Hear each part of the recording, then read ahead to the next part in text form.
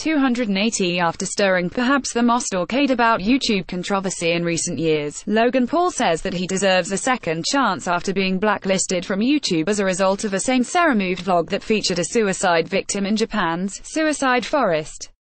Everyone deserves second chances bro. He told TMZ.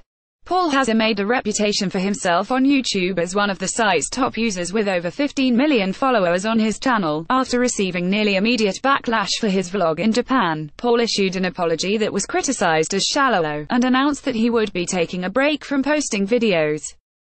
Since sharing the highly controversial video, Paul has been removed from YouTube's preferred program, which gives large companies the opportunity to present ads via the top 5% of creators on the platform. He's also been removed from the YouTube show Foursomes, as well as other originals that had not yet been released. YouTube's sentiment towards Paul matched much of the general public's complaints. Suicide is not a joke, nor should it ever be a driving force for views.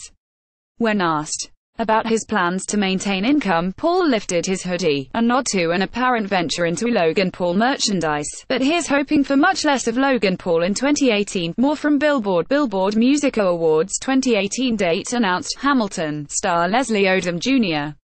To sing America the Beautiful at Super Bowl. Seal accused of sexual battery, denies allegations amid criminal investigation. Enrique Iglesias and Anna Kournikova post first pictures with twin babies download.